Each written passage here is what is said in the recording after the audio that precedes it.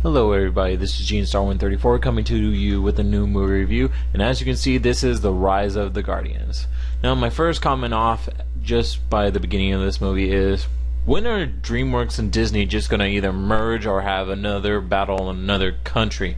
Maybe a mini island, because these two companies constantly go back to back to back to back to back with movies that span in between a traditional values for children and family.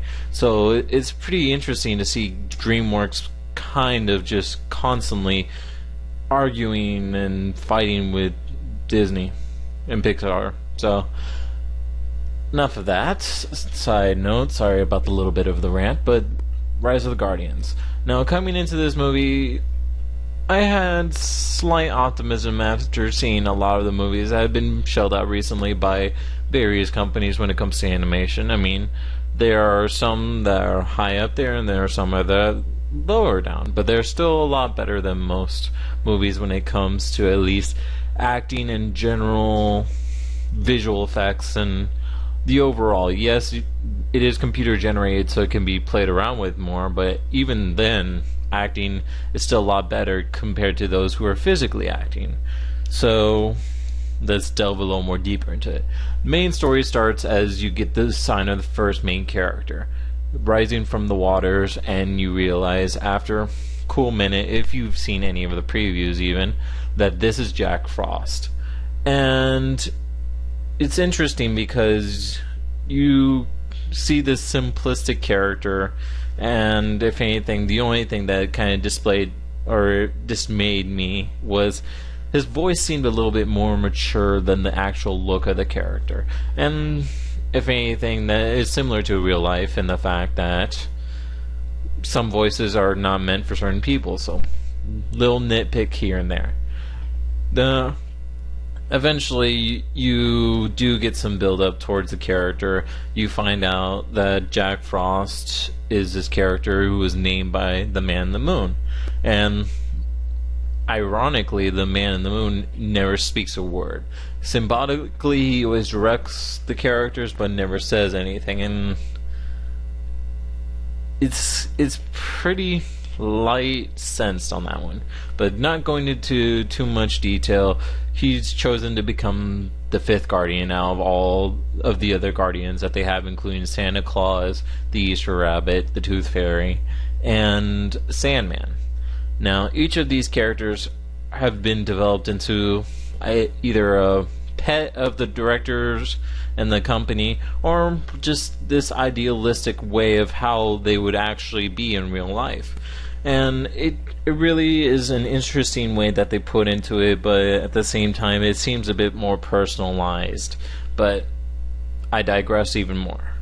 So he refuses to join the Guardians because he is mad at the Man in the Moon because the Man in the Moon never gave him any de- designation to why he was existed, but cannot be seen by the little kids or anyone in general. So he holds some form of anger towards his creator. And it, it's one of those kind of angsty characters that is borderline high school in so many words. Uh, not to delve too much into detail, but he refuses, and they find out that a new enemy is on the rise, and that is darkness, or whatever you call it, fear, Eh, or the self-proclaimed name that majority of people would identify is the boogeyman. So the boogeyman's coming back, and he's been gone since the Middle Ages, but he's also learned some new tricks. And the ongoing movie starts as Jack tries to figure out his past and who he actually is, and along with the build-up of the boogeyman becoming more and more powerful until he will either strike or do something completely nonchalant and re- irrelevant comparing to what he even says in the movie in that Jack is a neutral party and that he's not even supposed to deal with him. So it completely throws you off when Jack starts going into the mix for no reason other than he wants to to feel overall at that point it's not too bad. It's like any other movie, kids movie. It really doesn't bring much to the table. The story is very simplistic. The plot's very wishy-washy, and even the character development is a little light on it. Yes, they delve into Santa Claus a lot, but they really cut thin on the other characters. Yes, Santa Claus is probably the most recognized and idealistic character that everybody can see, but at the same time, if you're going to give this character some development, then you have to do so to the rest of the cast. And they really don't do that. But what can I say? He's all uh, Santa Claus is also played by Alec Baldwin, so of course he's going to get a little more detail than most. So that's all. Again, nitpicking. As far as the movie goes, in general, it's it's fair. It's not bad. It's not good. It's a light-hearted romp. I mean, I did find myself getting involved in the movie, and that is what any movie should do, uh, any sign of a good movie at least, is get you self involved, get you tied up in the story, get you somewhat feeling for it. And yes, it had its lighthearted chuckles, but its plot varied from time to time. Its pacing was a little bit off, and at times where I would finally get like kind of emotionally invested in the movie, it would stop and then kind of drag on again and then get you again.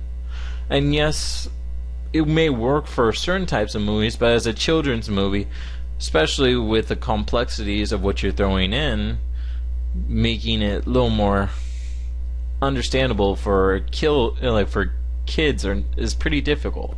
But it's like they try to do the same thing compared to Wreck It Ralph Wreck-It Ralph outspoke to a generation, and that's what they tried to do with this movie is outspeak to a generation, and they just kind of cut it short for both sides. They didn't reach the adults, and yet they didn't reach the children. Again, that's not to say it's a bad movie. It's actually very stunning visually. It's probably one of the best I've seen so far, short of Wreck-It Ralph. But aside from that, it really doesn't leave much of an impression on me. Would I watch it again? Yeah.